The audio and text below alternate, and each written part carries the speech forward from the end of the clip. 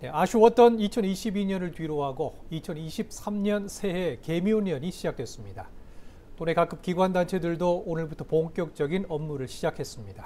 많은 관공서와 기업들이 새해 업무의 시작을 알리는 시무식을 열고 힘차게 한 해를 출발했습니다. 김경임 기자의 보도입니다.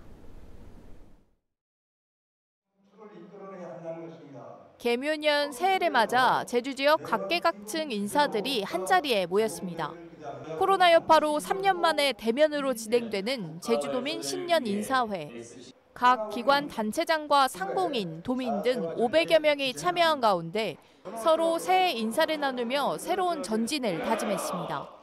지역 상공인들은 코로나로 인해 바뀐 사회 변화에 발맞춰 제주 경제의 재성장과 도약을 다짐했습니다.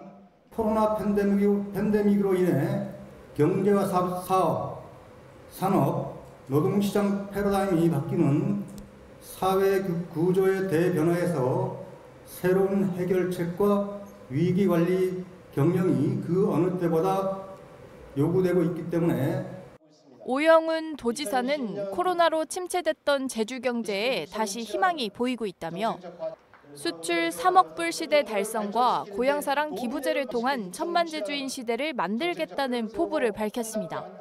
그러면서 경제인들의 적극적인 협조를 당부했습니다. 제주의 경제적 파일을 더욱더 크게 해나가겠습니다. 그래서 수출 수출의 목표도 더욱더 과감하게 높이겠습니다. 그 과정에서 지역 경제인 여러분들이 중심에 서주실 것을 부탁드립니다. 김경학 제주도의장도 경제 성장을 가로막는 불필요한 규제 등이 없는지 도의회 차원에서 살펴보겠다고 강조했습니다. 제주도청을 비롯해 양행정시, 교육청, 의회 등 각 기관과 회사에서도 잇따라 시무식을 진행하고 개묘년 새해 첫 업무를 시작했습니다. 올해 처음으로 열린 5일장에도 사람들로 북적입니다. 상인들도 새로운 마음가짐으로 손님들을 맞이합니다. 코로나로 침체됐던 경제가 올해는 활기를 띠길 바라봅니다. 어, 이제 우리 가족이 건강하면 좋고 또 두 번째는 우리 오일장의 모든 분들이 장사 잘 되고 콜레나 없이 잘 됐으면 좋고 관광객들이 좀 와서 좀 물건 좀, 좀 널리 알려서 좀 팔렸으면 좋겠어.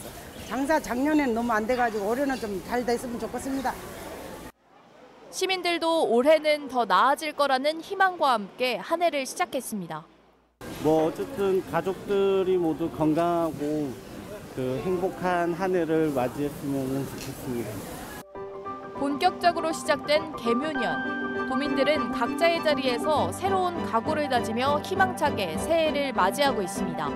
KCTV 뉴스 김경미입니다.